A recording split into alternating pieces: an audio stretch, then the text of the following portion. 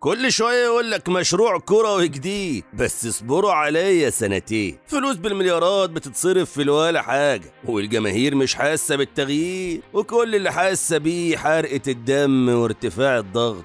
ولا هي عارفة تغير الرئيس ولا هي عارفة تشجع غير النادي ده. وبما إن الظاهرة دي كترت مؤخرا في آخر عشر سنين فتعالى بقى أقول لك على مشاريع كروية اتعمل حواليها ضجة وطلعت في البلح.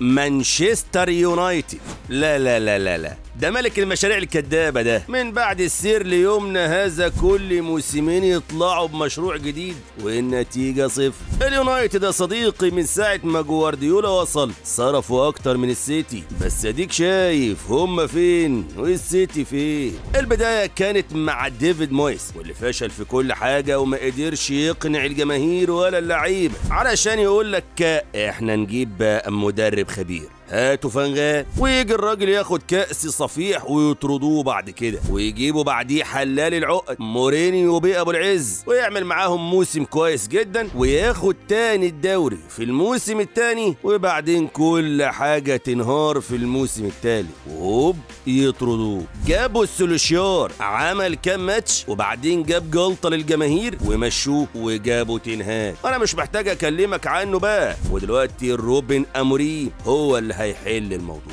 وفي كل المحطات دي كان في مئات الملايين بتتصرف مع وعود برجوع كبير إنجلترا من تاني. سنة سنتين ثلاث سنين بالكتير يتهدي المشروع كله ويبدأ من نقطة الصفر من جديد بدون هوية وبدون نجاح وبدون حاجة.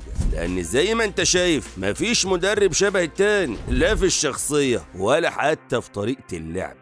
توتنهام. دانييل ليفي رئيس توتنهام من ابخل الناس على الكوكب. مش محتاج أقول لك ليه. ما هو باين من اسمه. اهو بس الحقيقة الراجل آخر كام سنة قرر يصرف بسخاء على الفريق علشان لازم ياخدوا بطولة. وعمل كام مشروع ورا بعض كده. من أول بوكيتينو لحد بوستيكوجلو دلوقتي. ملايين وصفقات وقايمة ممتازة. الحق يتقال. وكل صيف يكسر رقم قياسي في التعاقدات بتاعت النادي. لكن المحصلة برضه ولا حاجة. بعد الاستاد الجديد اتحلت كل مشاكل النادي المالية إلا مشكلة واحدة إن توتنهام مش قادر يبقى فريق كبير. هو اسم آه ليه تقديره لكن كهوية لا يوصل لآخر السبق ويعطل علشان يبقى بجدارة. واحد من أفشل المشاريع الكروية في السنين الأخيرة.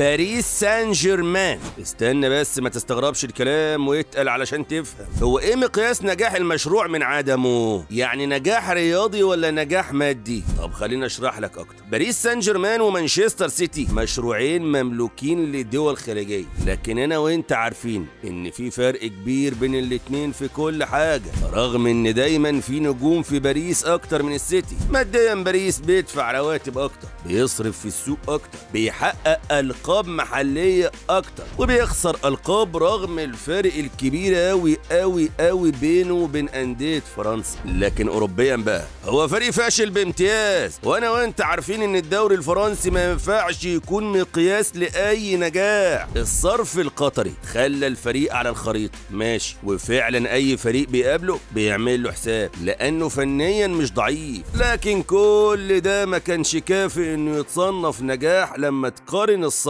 بحجم الإنجازات اللي كان ممكن يحققها بربع اللي صرف يعني مثلا لو كان ناصر الخليفي عنده نادي في إنجلترا كان هيبقى الكلام مختلف صح؟ في إسبانيا أو حتى إيطاليا كان هيبقى في كلام مختلف تماما. لكن أنا وأنت عارفين قصة باريس عمرها ما كانت رياضية أصلا.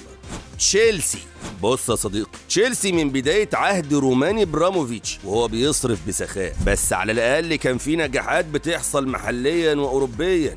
محدش يقدر ينكرها وهو اللي حط النادي على الخريطة أصلا. لكن بداية من عهد تود بويلي وتشيلسي بيصرف بسخاء أكبر لكن النتائج كارثية. مليار وربع يورو يمكن أكتر والنتيجة ولا حاجة. ولولا لاعب زي كول بالمر مثلا كان وضع تشيلسي بقى يصعب على الكافي والسبب معروف. هو الصرف بدون عقل وبدون تنظيم. يعني ما تقدرش تقول على صفقات تشيلسي وحشة. لا بقى. هي لعيبة موهوبة جدا وصغيرة جدا في السن وممكن تعمل فريق يكتسح لسنين. تمام كده؟ تمام. لكن ليه تسع مدافعين وخمسة ارتكاز وخمسة حارس مرمى وحاجات غريبة كده؟ طيب هل التعاقدات دي تمت بمعرفة المدير الفني ولا بمعرفة رئيس النادي حتى؟ طيب هل أي مدير فني جه عارف يدرب الناس دي كلها ولا كلهم كانوا زي بعض محتارين الحقيقة إن تشيلسي بيمر بمرحلة فوضى محتاجة مدير رياضي شاطر وفي نفس الوقت رئيس النادي يبعد عن الصورة شوية. يعني من الآخر حد يجي يرتب الفريق من جوه بين بيع وإعارة ويظبط قائمه الفريق ويدعم بعناصر عندها خبرة شوية.